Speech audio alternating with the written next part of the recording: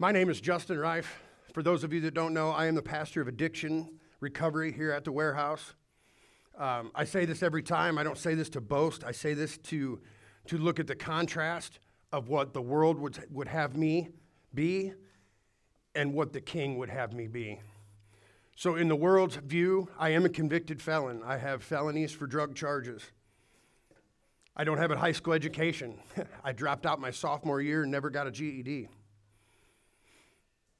I drive a vehicle that's 27 years old. It doesn't have a radio or even power steering. That's what the world would have me look like. But Jesus would say that I am a, a child of the redeemed. I am no longer called these things that the world would have me be called. I am a child of the King. And I have been given a task to bring um, another one of these Christmas unknowns to you guys. So it was started. Kyle had Mary. Hank had Joseph. They left me with the innkeeper. So, those of you that have read the Christmas story, the word innkeeper isn't even in there. This guy's name is not in there. In fact, it's nowhere to be found. So let's read that text Luke chapter 2, starting in verse 1. At that time, Emperor Augustus ordered a census to be taken throughout the Roman Empire. When this first census took place, Quirinius, with its governor of Syria, everyone then went to register himself, each to his own hometown. Joseph went from the town of Nazareth in Galilee to the town of Bethlehem in Judea, the birthplace of King David. Joseph went there because he was a descendant of David. He went to register with Mary, who was promised in marriage to him. She was pregnant, and while they were in Bethlehem, the time came for her to have her baby. She gave birth to her first son, wrapped him in cloths, and laid him in a manger for there was no room for them to stay in the inn. That right there is the mentioning of the innkeeper, for there was no room for them to stay in the inn. Now, in my research in this and looking through this, Bethlehem would not have had a Motel 6. There would not have been this bed and breakfast on the corner for them to book. Literally, the inn translated to a spare room in, in a, a family member's house. So they get to, to this, this family member's house and it's full. They've already got family members lodged in this room. There's nothing they can do. So they're forced to go to the barn. Now, we don't know what was going on in this innkeeper's mind at that, that night that he turned them away, or so the scripture would have you believe he turned them away. We don't know what was going on. I think it's interesting that somebody that's never even mentioned always has a part in a Christmas play. There's always the part of the innkeeper in a Christmas play, and it was somebody that was never mentioned. Something else that's interesting to think about is at this time the census was going on. So, this would have meant that Joseph wouldn't have been the only person going back to his hometown for this census. This town would have been completely full of people. Completely, I picture it as this chaotic. You know, if they didn't have a place to stay, how many other people were left sleeping in barns and laying in outbuildings and sleeping on the floor? You know, some commentators said that this could be related to Black Friday. Now, I'm not talking Black Friday this year, I'm talking like post COVID Black Friday. Like, Mary and Joseph would have gotten beat up for a TV in this, in this situation. Like, they would have been rushing to find this room and they would have been met by this mob of people breaking windows and taking whatever they wanted, like this, this chaotic scene. And they're left to sleep in a barn. Scripture tells us that there was no room in this inn, and most Christmas plays will tell you that the, the innkeeper turned them away.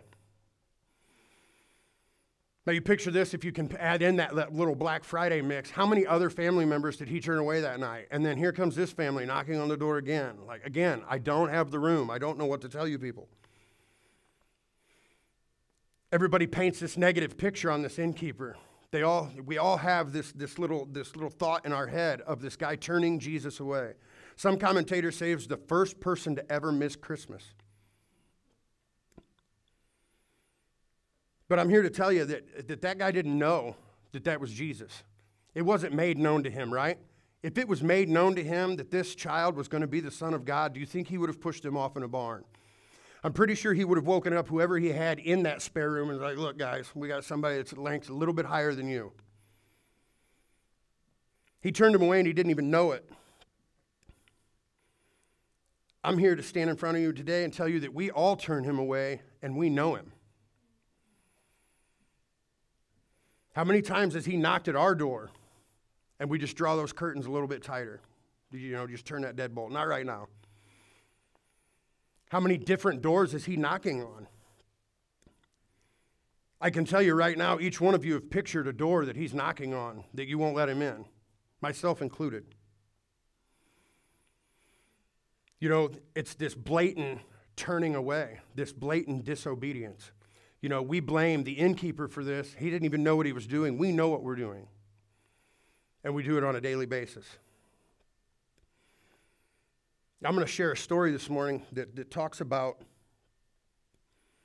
going against the voice of God and shutting that door when He's knocking on that door. So, this would have been 2016, early 2017. I graduated a program in 2015. I come home, I've got a job, I'm working. Jenny and I found a house, starting to build our life back together after a 15 year long rampant drug addiction that, that almost ruined us. And we're trying to navigate what this looks like, okay? Jenny has back conditions that require pain medicine. Pain medicine is my Achilles heel. So, how do you navigate keeping medicine in a house where there's a chance that there will be temptation? There's a chance that I'm going to find them, that I'm going to manipulate the situation and I'm going to get what I want. So, after careful prayer and, and consultation, we decided that the best thing to do would be to get a safe. Jenny can purchase a safe. I won't even be included in the sale. I wouldn't even know the combination, right? It's the perfect win win. She doesn't have to hide her stuff anymore. I have absolutely no access to it, and everything is great. So we get the safe, she purchases it, and we start doing that, and it's working just great. Like, I've been very manipulated in my life and I've done a lot of shady things, but safe cracking is not my forte, I will tell you that. So, here's where I get home from work and I have that thought well, what, what, if, I, what if I could get in that safe? And then that, the, the instant shutdown of no, no, no, no, that's a bad idea. That's a bad idea. That was that knock at the door. That was Jesus knocking on that door. Hey, let's not do that. We don't need to do that. Let's not do that. And I just drawed that curtain just a little bit tighter. No, we can figure this out. We can figure out how to get in this safe. And then again, there's that gentle nudge from Jesus. Like I, I felt it. Don't do that. Don't do that. The next day, I hear the numbers start to rattle on the safe. And I get up and I run into the kitchen I'm like blatantly peeking over her shoulder. Ah, I'm going to look at this number. And she, I was like, oh, I'm just kidding. You know what I mean? But I caught the second number. This went on for a couple more weeks. And I followed her in. I knew she was going in to get her medicine. I followed her in. And I watched as she clicked the first number. So I now had the first and second number. Thought, okay, now I just got to manipulate my way in to get that third number. And that's when that, that knock at the door again. You sure this is what you want to do, Justin? You want to throw away these couple years of sobriety? This is what you want to do? So, what did my flesh do? What did my, my humanness do? We deadbolted that door. We're not going to answer that door right now. We'll let, we'll let him in that door later, but right now, he doesn't need to be involved in what's going on right now. The next day, come home. She's clicking in the safe, and I walk by. She's got the safe open. She's getting her medicine. I go to the sink to wash my hands, and I look back at the dial with it open. Would have been stuck on the last number. I now had all three numbers to open this safe. The rush that came over me in that moment was indescribable. it was such a roaring conflict of knowing that I should not be doing what I'm doing, but every fiber of my being wanting to do what I am doing. I waited. I couldn't even guess, muster up the strength to do it that night. I waited until the next day. I came home from work. I did the numbers in the safe, and the handle opened. I had done it. I had figured it out. This is this flawless plan, right? Like now, she thinks she's missing pills. She's just crazy. There's no way I can crack a safe. I've got the perfect alibi, I've got the perfect excuse. Game on. I pulled it open, I pulled her bottle of pills out, and I took three of them. And I swallowed them. The burning that I felt from taking those pills was another feeling that was indescribable. The conviction that swept over me was so fierce and so intense that I burst into tears. I immediately started sobbing. I was sobbing when she got home from work. I immediately told her what I had done. I could not live like this. This was through this whole situation. I can remember it now vividly of Jesus knocking at that door and me just pushing it back closed. Doing what I didn't want to do, but at the same time, doing what I wanted to do. Galatians 5:17 says, "For what our human nature wants is opposed to what the spirit wants, and what the spirit wants is opposed to what our human nature wants. These two are enemies, and this means that you cannot do what you want to do." What are you continuing to do right now that you don't want to do? Now, I laid out this big extravagant thing. This is a big bad relapse. This is this big pivotal turn point in my life. But there's little things right now that he's asking of me to open the door. What door is he asking you guys to open this morning that you're still not willing to open?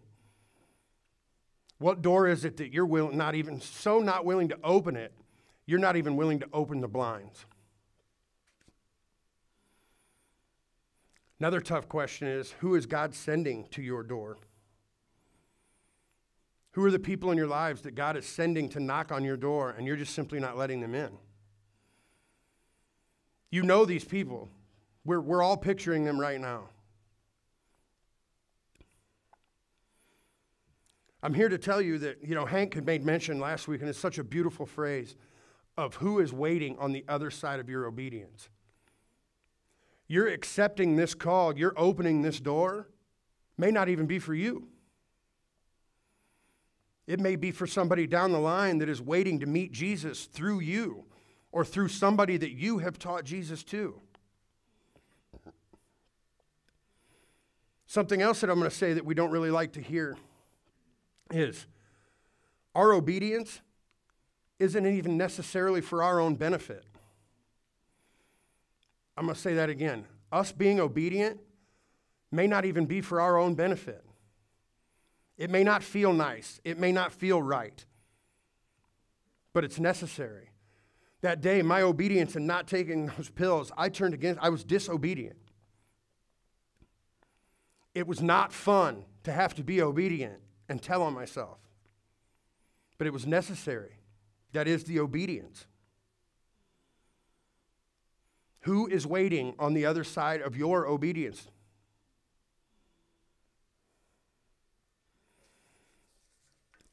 I want to talk about another story in the Bible. Of, I'm using this a little metaphorically with the door being opened. And, you know, I, th- I think in, in myself, speaking in myself, there's multiple doors that, that Jesus wants me to open. There's multiple doors that he wants to come into and be a part of and, and, and come alongside me in my life. And I'm willing to open about 90% of those doors. And just standing here being transparent with you, there's 10% of those doors that I don't know that I want to open yet. I don't know that I don't know that I can deal with the shame that comes with opening them just yet. But we're working on it. So this story, you can find this in Luke 18, chapter, or chapter 18, verse 18. A Jewish leader asked Jesus, Good teacher, What must I do to receive eternal life? Why do you call me good? Jesus asked him. No one is good except God alone. You know the commandments do not commit adultery, do not commit murder, do not steal, do not accuse anyone falsely, respect your father and your mother. The man replied, Ever since I, have, I was young, I have obeyed all these commandments. See, these are the doors he was willing to let him in on. These are the doors that he willingly opened. When Jesus heard this, he said to him, There's still one more thing you need to do.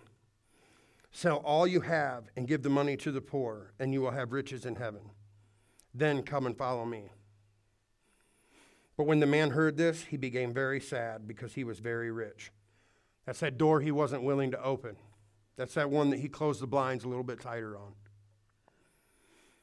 Jesus saw he was sad and said, How hard is it for rich people to enter the kingdom of God? It is much harder for a rich person to enter the kingdom of God than for a camel to go through the eye of a needle. This man had one door he wasn't willing to open. Or in the name of this, this sermon, missed call. He had one call he just was not willing to answer. What's the one call that you're not willing to answer? I implore you, looking at this through the goggles of Celebrate Recovery, to pick that one thing. Pick that one door that you don't want to open, just one. We all have many. Pick one and get started.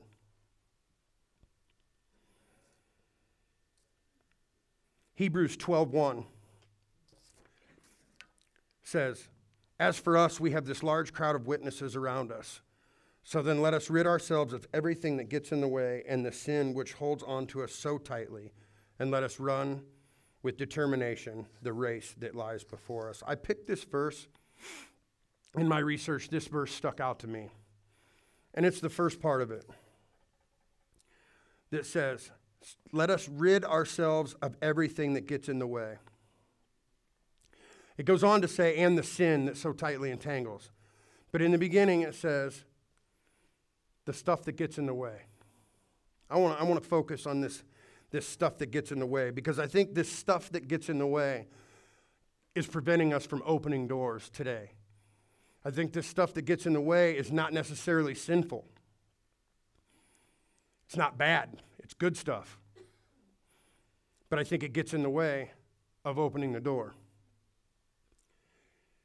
Big one these days uh, for me is social media. It's not sinful to be on social media, guys.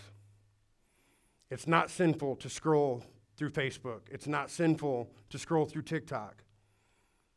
But what door aren't you opening because you're leaving this door open?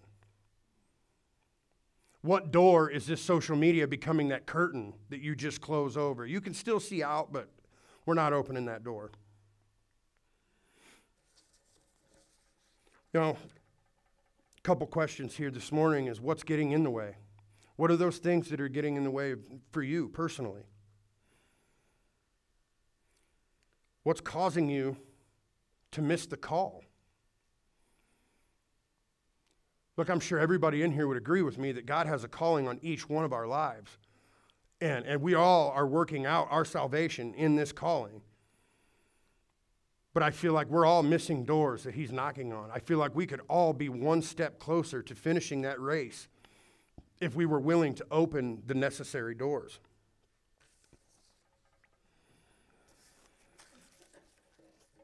This last scripture I'm going to share with us is wrong in your bulletin. I did that. It's my fault. Uh, I did Romans 12:1. I wanted Romans 12:2. It is right on the screen.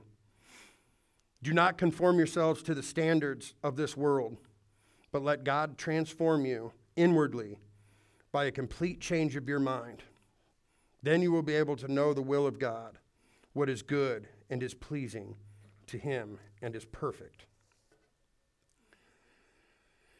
Look, sometimes transforming your mind is, is the self realization that you're letting things get in, get in the way. You know, I, I, used to look at this scripture and think, well, this means I got to completely think about things differently now. Like I got to change everything I've ever thought of and think about it this way. No. Sometimes that means that self realization of, hey, I'm missing the mark in these areas, and this is a perfect place to start. Pick that one door and open that door. I'd like the band to come back up. So, when it comes to this change and this renewal of your mind, you cannot do this alone. It is necessary to open that door and let Jesus in. Something else that's just as necessary when opening that door is knowing where you stand and knowing what you look like in the eyes of Jesus. Knowing where you're missing the mark because Jesus knows where you're missing the mark. And you need to realize that. You know, change only comes when the pain of the present outweighs the fear of the future. And I think the pain of the present would be just a little bit more if we saw ourselves who we, we really are. And we're people that close the door, we're not people that open the door. Our human nature wants us to close that door. I'm here to tell you to open that door and look at yourself the way Jesus looks at you a sinner in need of help. Change cannot happen on your own. Change can only happen when you let that person in the door. And you have to understand what needs to change, right? So, these bad things, these things that are hindering you, that are causing you to slow down and lose that race, you've got to be real and vulnerable and honest with yourself and lay these things out at that door. Like, this is not, oh, yeah, I am kind of bad. No, lay these things out at the door. I'm watching a show on Hulu right now. There's about the rise and fall of OxyContin. And this was something that was misbranded, it was mislabeled. It was labeled as the safest narcotic in the world. It was marketed for headaches, for aches and pains. And it was just as dangerous as any other narcotic out there. But the real change didn't come until we were able to recognize that this was mislabeled, this is misbranded. This isn't this knight in shining armor. This is a broken pill. Just like us, we are not Jesus. We are a broken vessel in need of Jesus. Stand with me. Heavenly Father, I thank you so much for the message that you prepared today, Lord. And I just ask, as each one of us leave this place today, and as we sing this last song, Lord, that you would just help us to recognize the doors that we're continuing to close. Lord, I ask you to just bring them to the forefront of our mind, Lord, and give us the key to open these doors and just help us to allow you to step in and take charge. In Jesus' name.